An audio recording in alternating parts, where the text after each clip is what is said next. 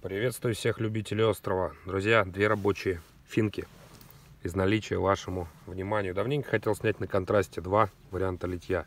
Наконец-то у меня это получилось. Две свободные есть. Итак, на клинках сталь D2. 61 единица термички. Две треть спуски долы. Фальш лезвия. Финиш клинка заполированный пескоструй с последующей галтовкой. Гравировка.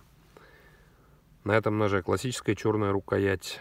Граб проставки Дюраль G10 пин. Красная звезда. Пропитка рукояти Даниш. Художественное литье.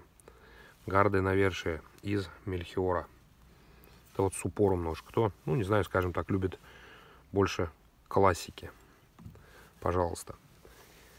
Второй нож друзья Клинок также D2. Спуски, финиш, все аналогично. Здесь рукоятка красное дерево падук. Пин, также звезда. Дюраль G10 проставки, литье Мельхиор. Вот это другой вариант литья. Ну, тут на самом деле дело вкуса. Кому что нравится.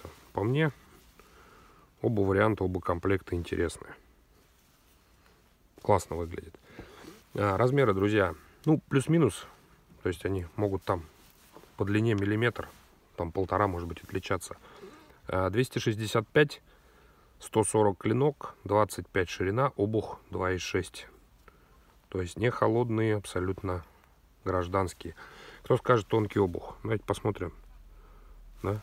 Вполне рабочий. Вот такие две красотки есть в наличии. 4500 рублей стоимость любого ножа. Естественно, с ножными. Как всегда, друзья, ножны кожа прошиты, проклепаны на двух подвесах. Теснение НКВД, кобурная застежка.